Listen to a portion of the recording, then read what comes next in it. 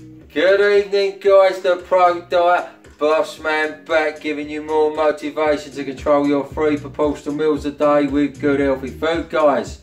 Let's share the evening meal with you tonight. We've got a breast of chicken, sweet corn, sweet potato, parsnips, mixed salad with mushrooms, tomatoes, celery and a sprinkle of cheese.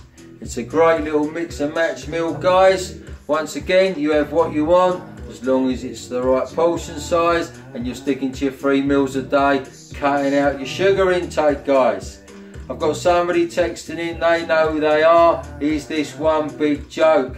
And what has the bucket got to do with it? That is the Pro Bucket. And if you're going to have a bucket for your bucket list, make sure you've got the greatest bucket in the world, guys. And as for the Pro Diet, it's no joke.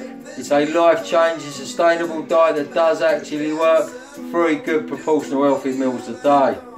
Okay guys, right, now, um, what I will say as a joke is your slimming world, right, your Weight Watchers, your vegetarian 5-2 diet, your keto diet, your BoomBod diet, your SlimFast 321, your noom diet, your Jane Plan diet, no carbs, low carbs, no meat, no eggs, no bread, injection.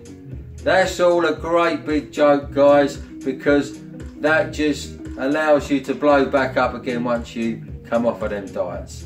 The Pro Diet is just a life changing diet about staying in control of your three good healthy meals, overindulging when you go out, but staying in control of your portion size with the bad stuff, okay?